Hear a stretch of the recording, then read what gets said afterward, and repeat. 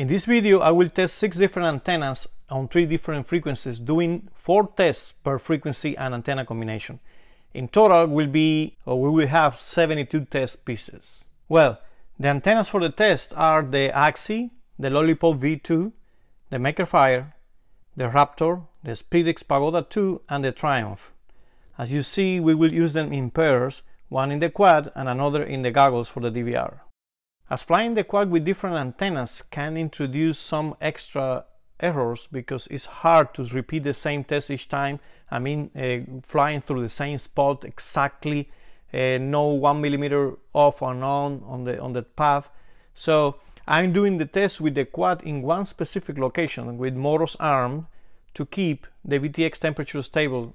So we'll keep at the same time the transmission power stable.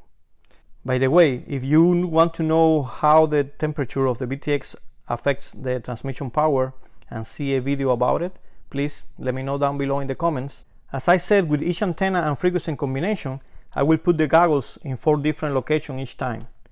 Each spot will have more blockers than the previous spot during the test.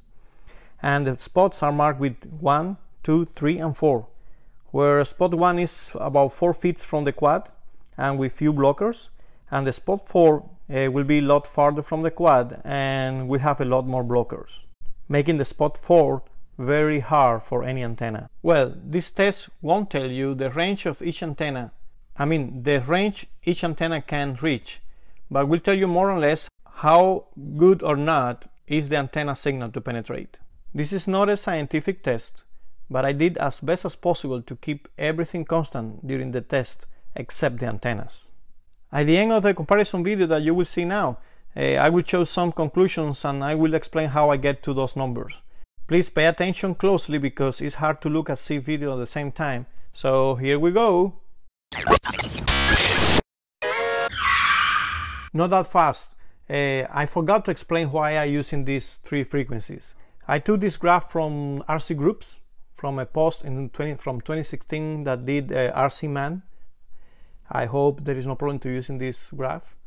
Uh, anyways, the R1, as you see marked here in the in the graph, is because it's a frequency that is on the lower side uh, of the frequency spectrum for FPV, and F4 is about in the middle. And I picked R8 because it's on the right side or in the higher frequency side of the spectrum. So that's it. Now we going now to see the videos. Sorry. Just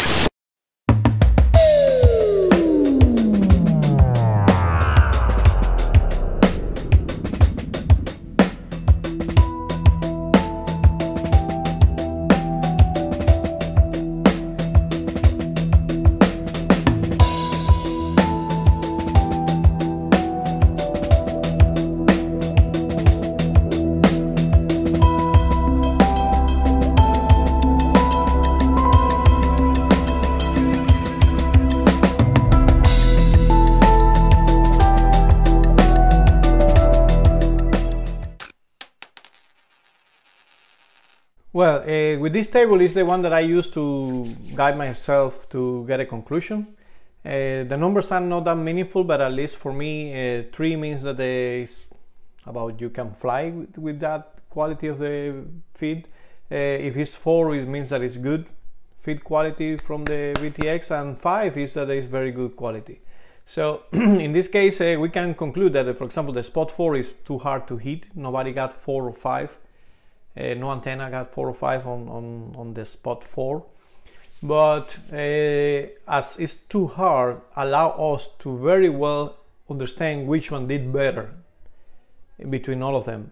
For example the one in green uh, as we can see here the, the raptor was the one that did better in f4 and did better in r8 so my conclusion is that that is the best antenna. Another good antenna based on this test is the Spedix uh, based on the numbers but the one that based on this number is on the third place is uh, the Triumph. Uh, we can see that it's more consistent because it has a 3-5 here, 3-5 here, 3-5 here. The only one with 3-5 in all the bands, I mean on all the three channels. But anyway, those again, the numbers are not that important at the moment. Well, this is my personal evaluation. Now looking at the numbers without looking at the video again, I can say that here the worst was Makerfire here the, in F4 the worst was the lollipop. And here the worst was Makerfire again.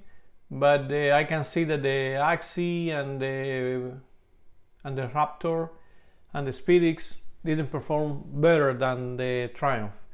So and here is a curiosity in the spot 4 which is the hardest I was expecting the Triumph perform better than the Raptor but based on the video, the Raptor performed better than the Triumph, a little bit better. Anyway, I would say these two, these two are probably even on R8, but I have to say personally that the Raptor uh, is in this case my winner.